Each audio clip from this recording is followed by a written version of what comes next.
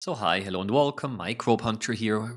I really love to eat camembert and I was really worried when I recently read that some cheesemakers are worried that the fungus which is growing on the camembert cheese might go extinct in the future. So it's an endangered species. Who would have guessed that? Endangered microbes.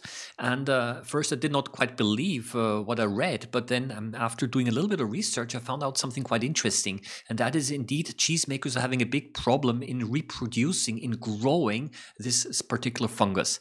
Because over the years, uh, the cheesemakers have optimized the fungus uh, for its appearance the beautiful, nice uh, white um, color, um, and also its flavor.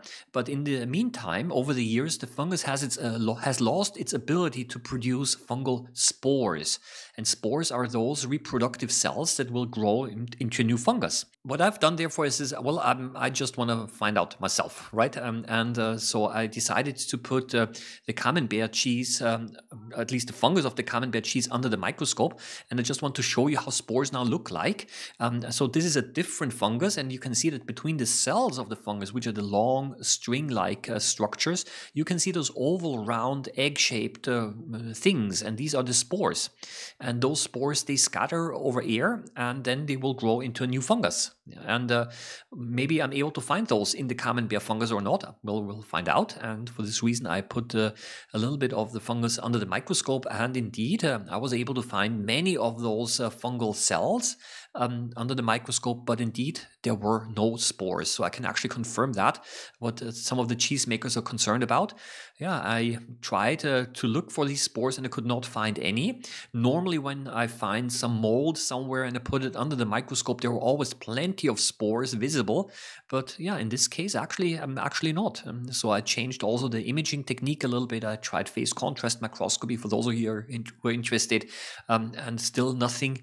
Um, I also tried to stain the specimen using methylene blue. I also was not able to find any any spores. So what I can say here is, well, I can confirm that um, there are no spores on this cheese.